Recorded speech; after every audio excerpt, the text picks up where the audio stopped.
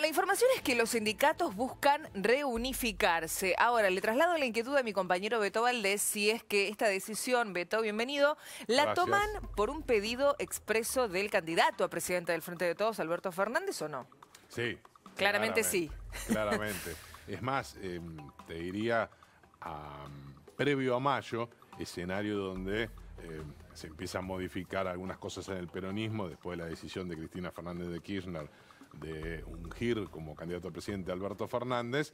eh, y la cosa no venía muy bien entre lo que es mm, los componentes de la actual conducción de la Confederación General del Trabajo, que reagrupa o, o que unifica hasta ahora a eh, los llamados gordos, Armando Cavalieri, Carlos Hueso Campo, los hermanos Daer, eh, también a los independientes de, de Gerardo Martínez de, la UOCRA, José Luis Lincheri eh, de AISA, eh, o Andrés Rodríguez, que fue el dueño de casa en una reunión que se realizó ayer, eh, secretario general de la Unión de Personal Civil de la Nación, con el moyanismo y con los sectores duros. Había de ambos lados algunas facturas y yo te diría broncas contenidas. Si bien recordemos que también había un elemento que, que no rompió las relaciones, que es que en agosto del año que viene Sí. vencería el plazo de la actual conducción y se puede decir que iba a haber una especie de comité central confederado para elegir eh, el, el nuevo consejo directivo y fundamentalmente lo que más importa, el secretario general de la futura CGT.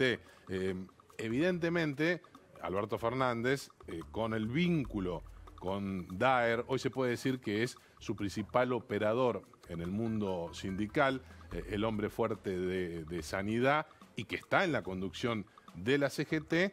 Fernández opera con Daer, pero también antes de viajar a España eh, compartió un asado con toda la familia Moyano, es decir, con Hugo, con Pablo, con Facundo. O sea, están Eh, bastante alineados a la figura de Alberto Fernández. y lo, lo que ha pedido, y, y evidentemente se trata de, yo te diría, una condición sine qua non para lo que muchos consideran que es el objetivo prioritario del de, eh, candidato presidencial del Frente de Todos si es que gana las elecciones, que es un pacto que congele, que ponga en un freezer eh, salarios, precios y tarifas. Para eso es realmente indispensable que haya una conducción sindical unificada, Claro. eh, que se alineen todos, porque si no es muy complicado. Es difícil. O sea, Alberto sabe eso, ¿no? Que gobernar sin esa unidad se puede tornar bastante complicado.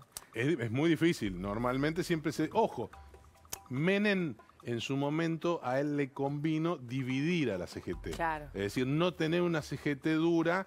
Eh, acordate que lo primero que hizo fue eh, ofrecerle una embajada a Saúl Ubaldini, que había cumplido un rol combativo durante la gestión de Raúl Alfonsín, pero que él no lo quería fuerte. En este caso es importante, pues si se te atomiza la presencia del sindicalismo, es muy difícil ir a este objetivo que plantea como primordial, eh, que es un acuerdo, insisto, de congelar precios, salarios y tarifas y con un ingrediente adicional. Evidentemente, eh, algunos dirigentes sindicales se van a tener que hacer los distraídos en materia de pérdida de poder adquisitivo.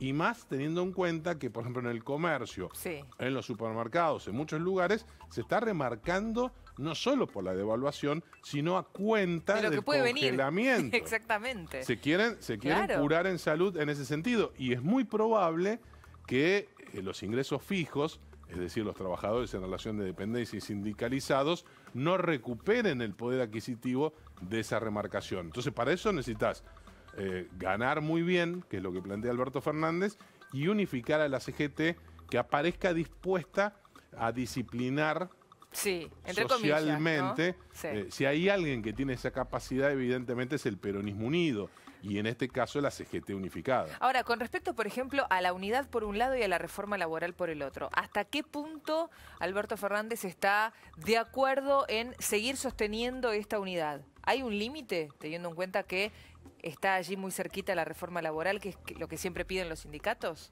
A ver, no sé si está tan cerca la reforma laboral. Me parece Ah. que eso va a depender esencialmente, Vivi, eh, de otro tema, que es la renegociación con el Fondo Monetario Internacional. Pero ob- objetivamente, ¿quién reclama la reforma laboral, eh, reforma previsional, impositiva.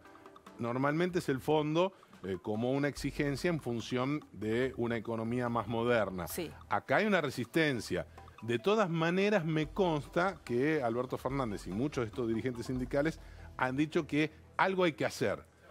En todo caso, que no se utilice la palabra reforma laboral que ha quedado muy desgastada, demonizada. Otro término. Y recordemos que también ha quedado enganchada con la Banelco en el momento famoso de Fernando de la Rúa cuando intentó aprobar, bueno, la aprobó en el Senado y fue, bueno, generó un escándalo que terminó nada más ni nada menos que con la renuncia de Carlos Chacho Álvarez. Algunos dicen que Moyano está de acuerdo, dice, algo tenemos que modernizar los convenios, pero no le pongan reforma laboral. Ah, mirá. Bueno, pero atención. Encontremos otro término. Moyano se está mostrando un poco más flexible. Exactamente. Que no es poco, ¿eh?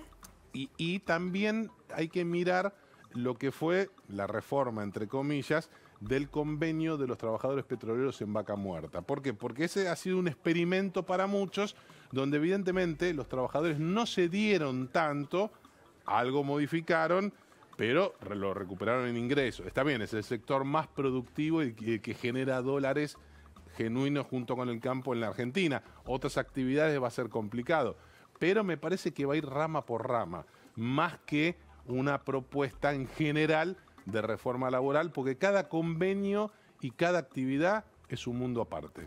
Lógico. Ya vamos a seguir, Beto. Gracias, como siempre, un placer. Beto Valdés, toda la información del ámbito político.